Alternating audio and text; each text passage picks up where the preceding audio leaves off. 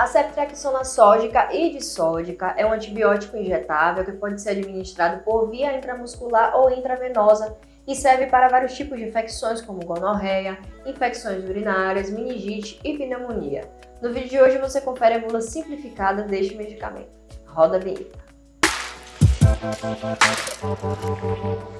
Já curte esse vídeo, se inscreve no canal porque isso ajuda muito o nosso trabalho. A ceftriaxona é indicada para tratar vários tipos de infecções bacterianas, como infecções urinárias, genitais, incluindo a gonorreia, infecções respiratórias, principalmente a pneumonia, infecções de ouvido e garganta.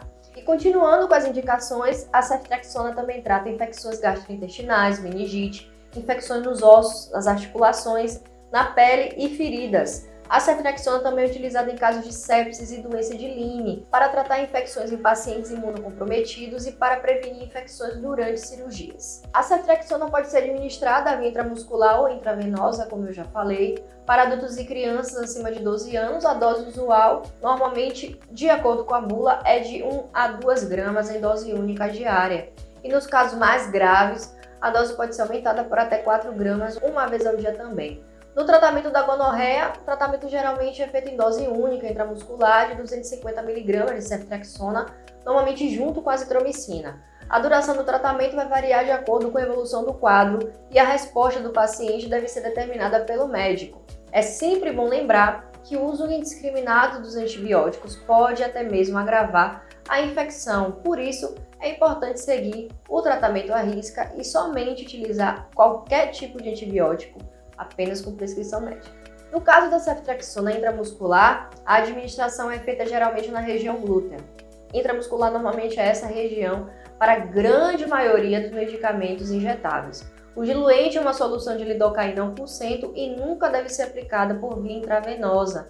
A ceftriaxona intramuscular de 500mg deve ser diluída na solução de 2 ml e a de 1 grama deve ser diluída na solução de 3,5 ml. A bula recomenda não administrar mais que 1 grama em um local de aplicação.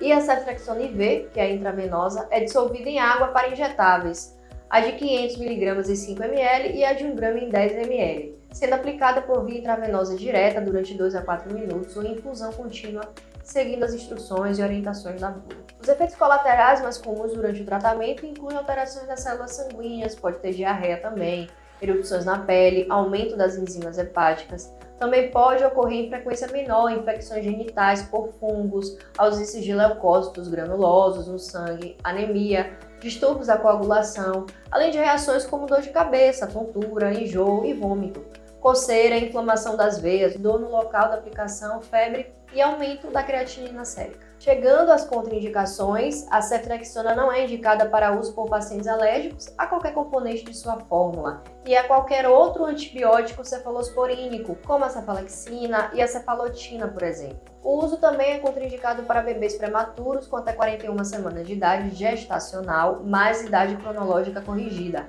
para recém-nascidos com hiperbilirrubinemia ou que estejam recebendo soluções intravenosas que contêm cálcio.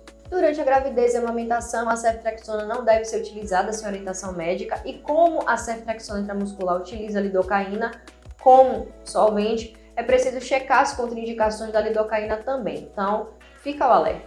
E os pacientes que são alérgicos à penicilina, também a famosa amoxicilina, que faz parte do grupo das penicilinas e outros antibióticos beta-lactâmicos, podem apresentar maior risco de alergia à ceftriaxona, porque as cefalosporinas elas têm um, uma estrutura química muito parecida com os medicamentos, as penicilinas, as amoxicilinas. Por isso é sempre bom ficar atento ao menor sinal de hipersensibilidade, como inchaço, coceira e erupções na pele. E caso o médico queira te prescrever uma cefalexina ou uma ceftaxona e você tiver alergia, por exemplo, à penicilina ou à amoxicilina, você deve informar ao seu médico, tá? Não esqueça disso, é muito importante. E esse foi o vídeo de hoje, lembrando que a ceftriaxona ele é um medicamento com retenção de receita, assim como todos os antibióticos, você só consegue comprar ele com receita médica, tá? Espero que esse vídeo tenha sido útil para vocês.